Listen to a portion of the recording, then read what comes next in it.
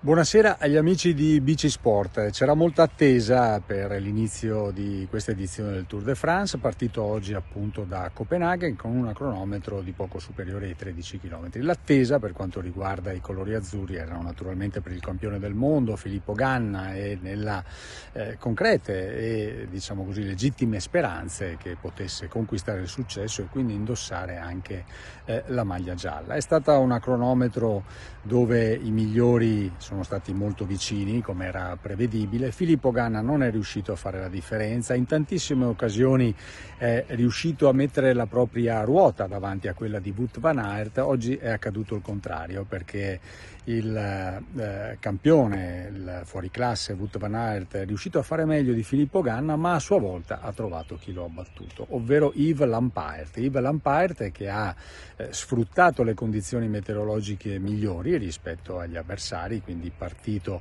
con la strada asciutta, è riuscito a tirare fuori una prestazione veramente straordinaria. Lui che eh, ha delle buone doti nelle prove contro il tempo, difficile immaginare che avesse potuto eh, battere, come è riuscito a fare Van Aert e Ganna se avesse corso nelle stesse condizioni del connazionale e del campione del mondo, ma così è stato. Le corse sono queste e bisogna accettare naturalmente il verdetto. Per la classifica generale, beh, ha dato un gran segnale, manco farlo apposta, Tadej Pogacar, terzo sul traguardo alle spalle di Van Aert e appena davanti al nostro Filippo Gann ha fatto capire fin da subito che la sua condizione è un'ottima condizione, come già aveva palesato al Giro di Slovenia, un Tadej Pogacar che va a confermare con questa ottima prova contro il tempo il suo ruolo di favorito principale.